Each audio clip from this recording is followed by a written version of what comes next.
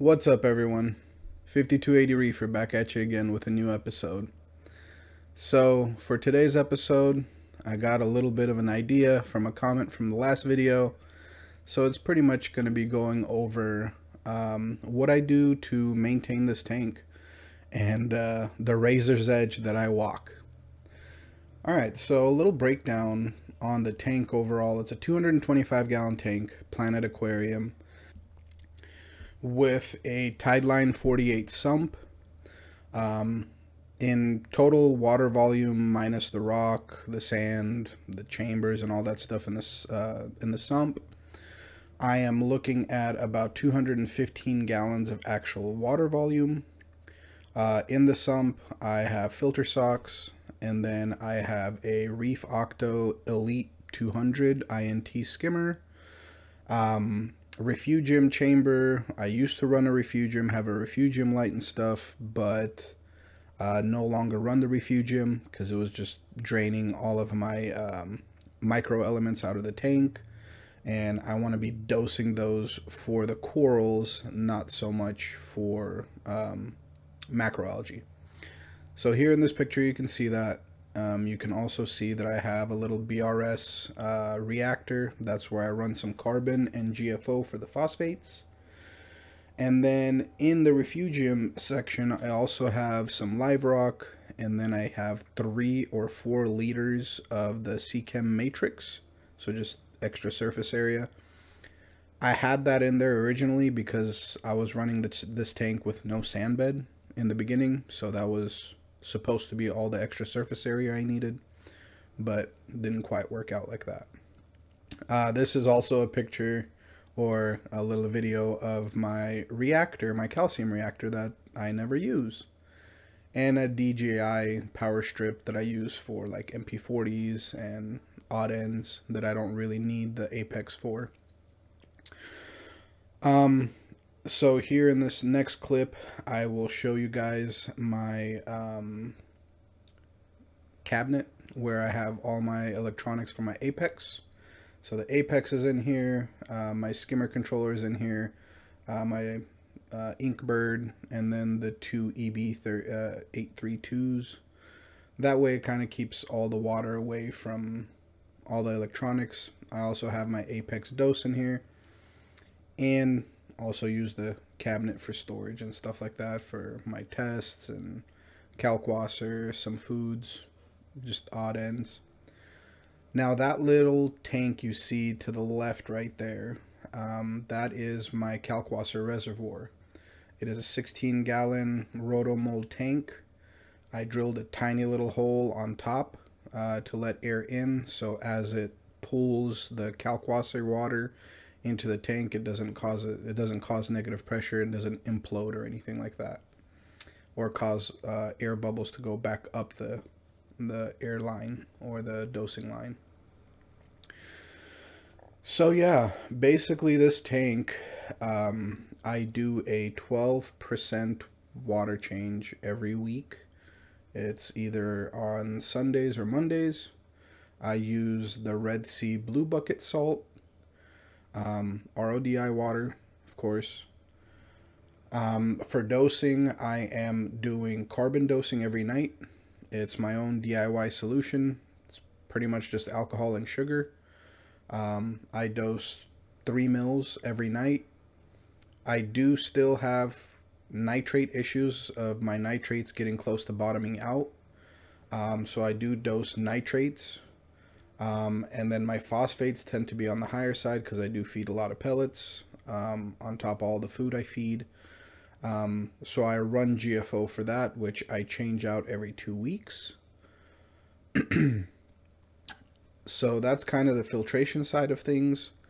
Uh, my filter socks, I change out once a week. They usually get pretty clogged up by the end of the week. Uh, I definitely have to change it. So for trace elements, I do dose uh, trace elements. I use the Fauna Marin uh, multi-elements A and B. Um, stuff is great. Um, it's pretty cheap. I think it's like 40 bucks for each bottle for a liter of it. and with a 215 gallon total water volume of my tank, I only dose a capful that it comes with the bottle once a week. I do all my dosing for that stuff on Saturdays. On top of dosing that, I do like to dose amino acids. And the amino acid that I use right now is the Polyp Lab amino acids. I was using the Acro Power, but I, I ended up buying a big bottle of the Acro Power and it ended up congealing on me and it looked like there was a layer of cheese curds on top of it and on the bottom was clear liquid. So I thought that was kind of weird and I'm definitely not getting Acro Power anymore. Um, on top of that, I do dose iodine. Um, on my last ICP test, it was right in between the yellow and the green, meaning that was a like almost leaning towards low. I used to dose one drop a day of the Lugol solution from Brightwells, but now I'm doing two drops a day. Um, and I'm going to be doing an ICP test probably here in the next month and a half or so. I, I try to do it now every three months since the tank is kind of on autopilot. And uh, if I ever see issues, I'll do emergency tests. But in any case, so I also, on top of that, I dose iron. Um, I made a DIY version of iron uh, that Randy Holmes Farley uses. It's basically the Fergon pills that we would use as an iron supplement. And um, I made a concentration with that with some RODI water, and it works wonders. I dose that twice a week. Um, I dose very little of it, and it keeps all the algae happy, which keeps the dinoflagellates away. At least in my case, that's that's what it's been doing. It's been really helping me combat the dinoflagellates. Um, for alkalinity and calcium dosing, I am using supersaturated kalkwasser in that 16 gallon vat that I showed you guys. Um, I do the six grams per gallon of kalkwasser, and I just keep that thing stocked up. I just keep topping it up. Uh, throw in, uh, I think it's like three teaspoon little thingy, um, so like a quarter cup or something like that of kalkwasser in there every once in a while. Uh, mix it up and let it do its thing. Um, my total evaporation is more than what I'm actually dosing to the tank with Kalkwasser overnight. My total evaporation is about 7,200 milliliters, um, but I dose 5,200. So my ATO does still go off here and there. Um, it's a 15 gallon reservoir. It usually lasts me about two or three weeks before I have to top it up. Um, yeah, so that's how I maintain my alkalinity. My alkalinity stays between 9 and 10. Um, yes, that's a little bit on the higher side, but I'm sure as time goes on, it may potentially drop. Maybe it won't. Uh, the house I'm living in is newer, so it does trap a lot of CO2 in the house. Because um, without the kalkwasser, uh, my pH was between like 7.6 and 7.8 during the day. It was it was bad. Uh, but with the Kalkwasser, my pH at the lowest will be 7.9 and at the highest will be about 8.2, 8.3.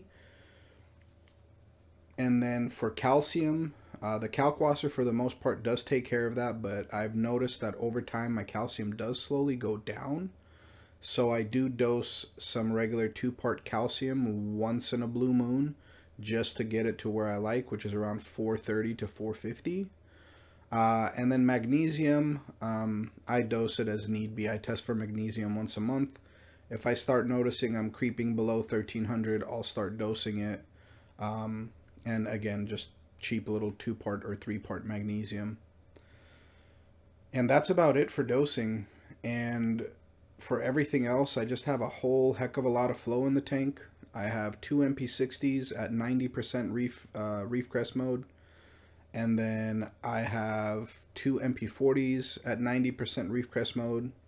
Um, I have one of the MP60s as the main driver and then one of the MP40s on the opposite side as a slave, and then the other MP60 on the other uh, side is the main, and the other MP40 is a slave. So it, it there's a lot of chaotic flow in the tank.